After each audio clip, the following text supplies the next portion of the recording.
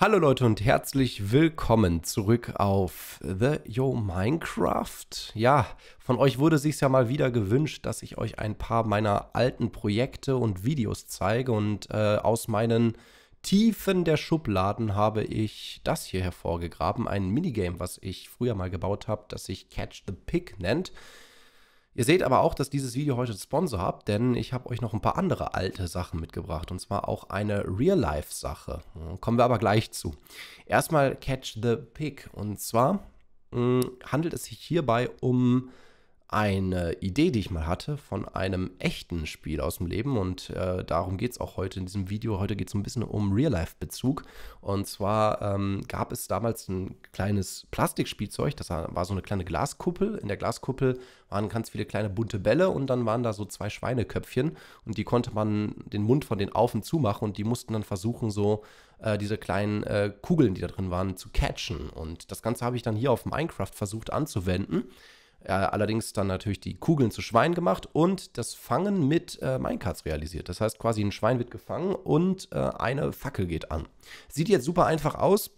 Nur das Problem ist, damals zu dieser Redstone-Zeit, wo es keine Komparatoren gab, wo es nicht die Möglichkeit gab, mit einem Dispender äh, Minecarts einfach auf eine Schiene zu setzen und wo, naja, auch Redstone ziemlich weit zurück noch war zu dem, was es heute ist, ja, war das alles nicht so einfach, wie ihr seht. Es gab noch nicht mal Command-Blocke. Das heißt, ähm, es musste alles quasi Vanilla Minecraft gemacht werden. Und ihr seht, es funktioniert. Und die Idee war, dass man bei diesem Spiel dann gegeneinander spielen kann. Jetzt werdet ihr fragen, ja, wo kommen die Schweine her? Ja, Schweinespawner. Das gab es damals noch. Also man konnte sich sogar einen Schweinespawner gerade mal so eben ercheaten. Das war es aber auch schon. So.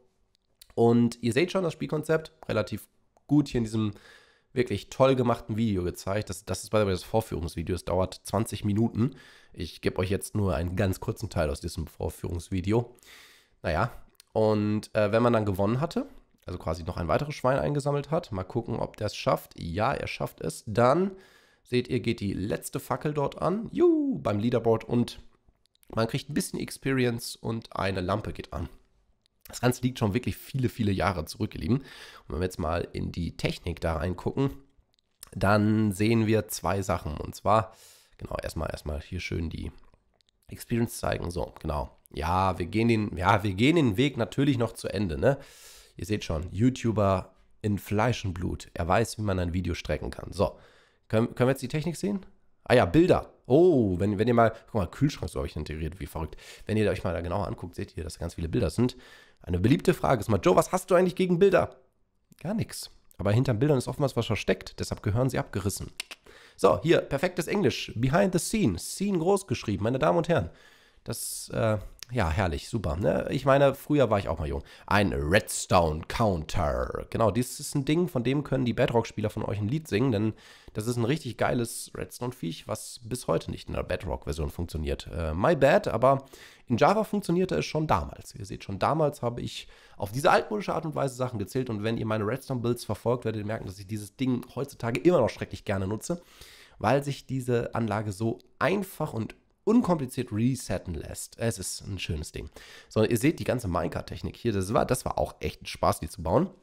Ihr seht hier den analogen Dispender, äh, Dispenser mit den Minecarts übereinander und ihr seht hier einen Pick-Killer. Ja, irgendwie mussten die Picks ja aus dem Minecart wieder rausgebracht werden. Hier diese Ausstiegsschienen, vergesst es, die gab es nicht.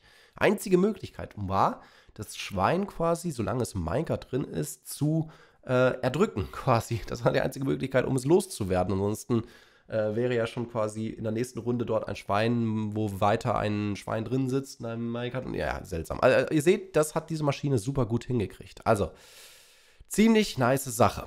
So, aber wie ich euch ja gerade schon gesagt habe, habe ich noch was weiteres für euch und zwar aus dem Real Life. Denn äh, ein ganz großes Dankeschön geht ja da an Capri Sun, die das heutige Video auch sponsoren. Ich habe damals ein U-Boot gebaut. Das ist wirklich etwas, was ich in meiner Kindheit mal mit einer Capri Sun Pouch gebaut habe. Und ich habe für euch einmal hier die Bastelanleitung, falls ihr es selber bauen möchtet. Wenn ihr selbst ein Capri-Sun-U-Boot bauen möchtet, ist das ganz einfach. Ihr braucht dafür erstmal einen Stein aus dem Garten, Kleinstein. Ihr braucht einen kleinen Schlauch dafür und ein Stückchen Tesafilm und natürlich eine Capri-Sun. Allerdings eine leere Capri-Sun, das heißt, bevor der Spaß hier beginnt, gibt es jetzt erstmal Trinkspaß. Also Josef, guten Durst. So. Und jetzt mit der leeren Capri Sun ist das alles viel einfacher. Wir craften die Items nun hier in Real Life zusammen und dabei herauskommen soll ein kleines U-Boot. Äh, wir drehen die Capri Sun dazu um, haben ja hier die Halterung für den Strohhalm. Die wird jetzt zum Halterung für den Stein einfach quasi drüber falten und mit einem Stück Tesafilm fixieren. Relativ einfach, ihr könnt das genauso machen, wie ich es hier demonstriere. Einen Stein könnt ihr einfach irgendwo aus dem Garten nehmen, meistens vielleicht, wenn man ein Kieselbett hat oder sowas in die Richtung hat. Geht alles Mögliche. So, und jetzt müsst ihr nur noch an den Strohhalm den äh, Schlauch dran machen. Was das für ein Schlauch ist, ist relativ egal. Ich empfehle einen kleinen Schlauch. Ich hatte hier noch einen vom Aquarium über. Manchmal gibt es aber auch so Spielzeug, wo man drin hat. Oder wenn ihr zum Beispiel irgendwo jemand kennt, der so einen Schlauch hat, die sind relativ leicht zu finden. Ansonsten kriegt man die auch fast in jedem Baumarkt oder sonstig das Ganze einmal dran kleben. Ich empfehle das Ganze doppelt nochmal abzusichern, dass da definitiv das Ganze auch luftdicht ist, denn Luft ist hierbei ein ganz, ganz besonderes Stichwort.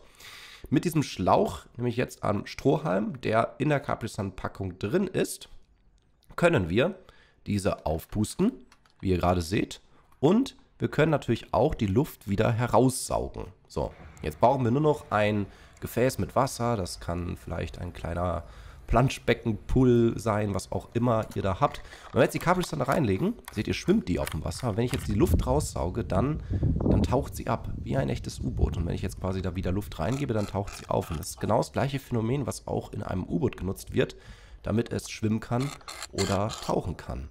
Einfach, aber cool, oder Leute? Da habt ihr ein U-Boot gecraftet zurück wieder zu Minecraft, denn eine besondere und wirklich krasse Sache habe ich mir noch für den Schluss dieses Videos aufgespart und zwar ein Bahnhof.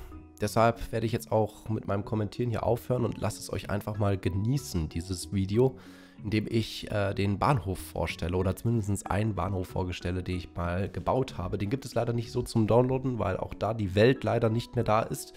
Aber das, was ihr jetzt hier seht, ist mein Meisterwerk tatsächlich. Ich habe wirklich hm, wochenlang an diesem einen Bahnhof gesessen.